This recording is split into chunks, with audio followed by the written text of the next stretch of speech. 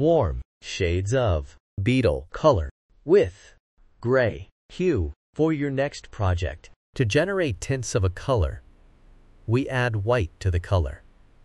And tints creates light and exquisite emotions.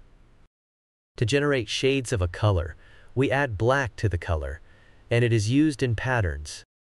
3D effects, layers and shades create depth and drama.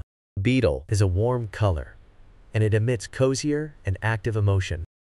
Warm colors are symbols of warmth, fire, heat, and sunshine.